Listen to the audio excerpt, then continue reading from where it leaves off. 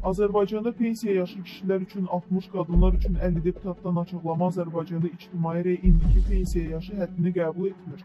Hesab edirəm ki, bu da düzgündür. Paytaxt Orq xəbər verir ki, bunu Milli Məclisin deputatı Fəzail Ağamalı parlamentin bu gün keçirilən iclasında çıxış edərkən deyib.